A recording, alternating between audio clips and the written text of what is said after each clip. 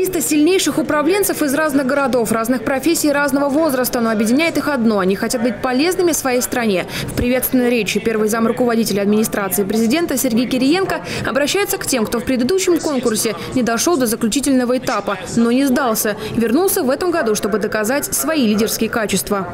Вот поднимите руку, кто у нас в прошлом году участвовал. О, давайте отдельными аплодисментами. Конкурс «Лидеры России» стартовал по инициативе президента и проводится уже во второй раз. И финал снова у нас в Краснодарском крае, в Сочи. Его цель – это поиск умных и перспективных управленцев по всей России. Ведь главное богатство страны – это люди. И для их развития нужно создать условия. Для того, чтобы попасть сегодня в этот зал, каждый из вас должен был стать лучшим из 750 квалифицированных управленцев. И я вас хочу поздравить с тем, что то, что вы прошли финал конкурса, это уже большая и заслуженная победа. А это, напомню, уже означает, что каждый из участников финала уже получает 1 миллион рублей на любую по вашему выбору программу а, повышения квалификации, обучения в любом российском учебном заведении. Но, а, знаете, наверное, самое главное здесь, что вы совершили уже очень важную победу внутри самого себя над своими страхами, а, над своей неуверенностью или своей ленью. И вот эту победу вы точно совершили. Поприветствовал лидеров со всей России в Сочи глава Кубани Вениамин Кондратьев. Губернатор края отметил, что конкурс «Лидеры России» показывает, насколько талантлива, амбициозна и ответственна сегодняшняя молодежь. Для нас, для губернаторов, это вот та возможность найти тот кадровый потенциал, который будет делать сегодня экономику регионов, жизнь сегодня и завтра. Это принципиально важно. Не ошибиться в самом главном составляющем успехе – это кадрах. И сегодня настоящий конкурс э, позволяет нам находить вот те кадровые решения, э, которые еще вчера практически было сделать очень и очень сложно. Сегодня у вас есть старт на долгую, длинную дистанцию под названием «Жизнь».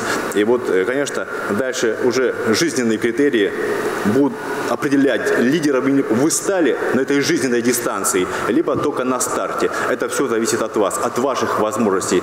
Друзья, вы нужны сегодня, нужны в регионах, конечно, нужны в рамках всей нашей огромной страны, э, потому что нам нужны сегодня те, кто умеет мыслить, кто умеет принимать решения, кто умеет работать не на действия, а на результат.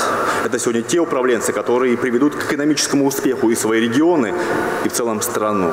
Конкуренция есть не только между участниками за победу, но и между представителями власти и бизнеса за финалистов. К некоторым уже поступает предложение о работе. Первый конкурс дал стремительный результат. 86 победителей из 100 получили высокие должности в крупнейших корпорациях и госструктурах. Я уверен, что каждого с их талантом, способностью, активностью можно интегрировать и в реальный сектор экономики края, и в целом э, э, в сферу управления э, и муниципалитетов, и, конечно, в целом региона.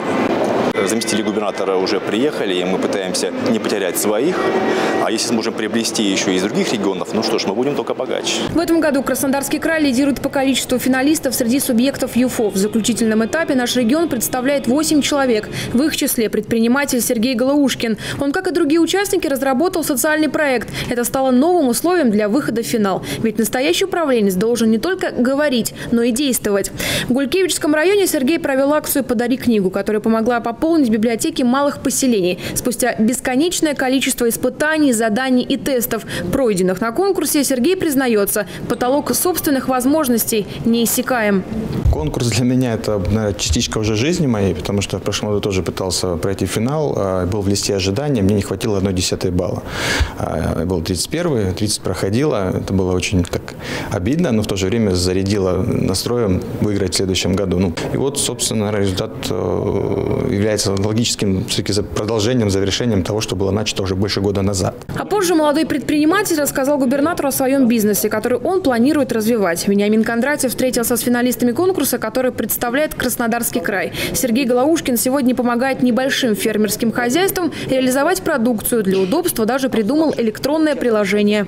Гулькевич родился, живу сейчас, в принципе, рядом с Гулькевичем работаю. Бизнес у меня связан, ну, скажем так, это продажа в сфере сельского хозяйства. Мы с небольшими фермерскими хозяйствами работаем, а, овощниками. Вот сегодня санаторно-курортный комплекс, он, потреб... он сумасшедшим образом потребляет все, что выращено на Кубани. Нам даже не нужно за, за пределами. Операторы с импортными корзинами, их выше крыши, и они работают.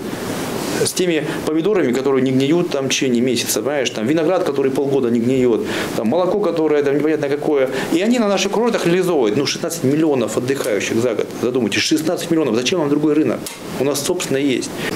И вот нам нужен местный кубанский оператор, который корзину сделает из нашего. И вот эту корзину предложит санаторно-курортному комплексу, а мы поможем сделать так, чтобы санаторно-курортный комплекс все-таки ориентировался на нашу экологически чистую, полезную, относительно недорогую продукцию. И вот это сегодня моя задача. Я не могу понять э, только одно. Где мне найти того, э, кто этим займется, кто создаст такую продовольственную корзину, станет оператором региональным оператором, но с нашей кубанской корзины. Губернатор обсудил с участниками конкурса перспективные направления развития региона. Многих интересовало, на какие отрасли сегодня лучше сделать ставки, чтобы проявить себя. Я сейчас живу в Краснодарском крае, да, так как я сейчас здесь живу, я смотрю на этот край и думаю, где я здесь могу быть полезен, куда я могу сферу своих компетенций дальше переложить, куда вырасти из этой компании там, и пойти свой бизнес создавать. Инвестиции сегодня – это основное, что может, э, во-первых, дать нам новые технологии, во-вторых, новые рабочие места и новые налоги. Но здесь тоже нужно думать, ведь э, бизнес он умеет считать, он же тоже смотрит выгодно, невыгодно. Поэтому, конечно, направление э, с точки зрения отраслей экономики, то мы были гарантом продовольственной безопасности, будем оставаться. Сельское хозяйство. Санаторно-курортная сфера, безусловно. Э, огромный резерв, где мы максимально сегодня пытаемся, в том числе и найти кадры, это промышленность, переработка. И неважно, легкая промышленность, ну, конечно, не тяжелая. Поэтому промышленность, если мы говорим вот э, о том, что в чем перспектива, и мы создали сегодня фонд промышленности, и максимально поддерживаем сегодня э, за счет господдержки, в том числе и развития любой промышленности, малой, большой, средней, то есть неважно, но точка зрения только в тех сферах, которые я обозначил. Поэтому если готов в этом направлении сотрудничать, это можно обсуждать. Да, в целом смотреть, э, чем помочь, если серьезное производство, которое явно даст развитие краю и этой отрасли. После встречи будущие управленцы отправились дальше на мастер-классы от наставников. Кто будет победителем, станет известно 17 марта. После этого 100 человек могут считать себя лидерами России. Теперь участников ждет напряженная, но интересная борьба за главный приз, который обеспечит им путевку на верхние этажи карьеры. 100 победителей смогут поработать с известными наставниками, топ-менеджерами крупнейших компаний и государственными деятелями. Возможно, в их числе будут и участники из Краснодарского края, которые помогут сделать тот экономический рывок, заложенный в стратегии развития региона до 2030 года. Яна Бузычкина, Алексей Комаров, Виктор Чаусов, Кубань, 24, Сочи.